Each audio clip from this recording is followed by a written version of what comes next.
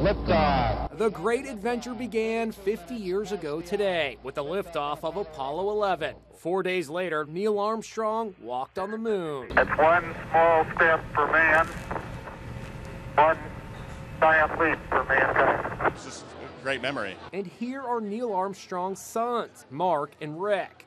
Like the rest of humanity, they watched the historic mission on TV with a little extra something courtesy of NASA. We had two televisions in the home, uh, one color and one black and white, but we also had the Squawk Box, which which is a way that you could listen to what was happening in mission control.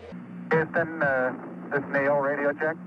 Neil, this is Houston, loud and clear. The Armstrong brothers revealed what their dad was thinking as he and Apollo 11 astronauts Michael Collins and Buzz Aldrin climbed into the spacecraft.